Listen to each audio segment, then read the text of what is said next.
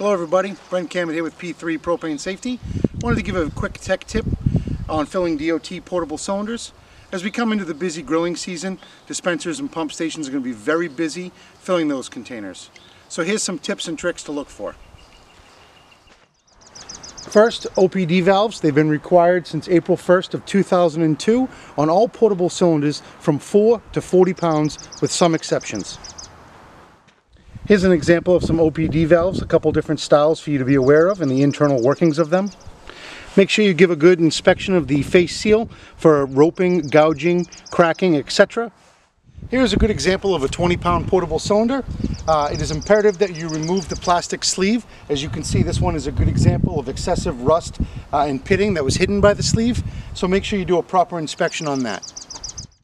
All portable DOT cylinders are good for 12 years from manufacture date. You can see this one here is from January of 02. It has also had a visual requalification June of 2018, which is what you're looking for there. It must have a good working order collar to protect the valve and of course some type of plug or cap on the end.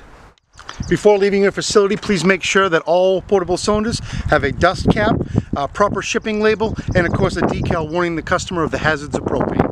Here's an example of a motor fuel cylinder cutaway so you can get an idea of what that looks like in the internal workings. 100 pound cylinders, please make sure you inspect the foot ring on this and all cylinders and give a good look at the bottom. Make sure that there's no excessive rust, pitting, or gouging on these cylinders and all cylinders. And last, but certainly not least, please make sure all your folks have proper PPE. Uh, to start with, a good set of liquid gloves. Uh, of course, eye protection or safety glasses, as you see here. And additionally, a face shield is never a bad idea when transferring liquid. Thank you, folks. I hope this keeps you safe. Maybe you can use this video at your next safety meeting. Be safe out there and have a great day.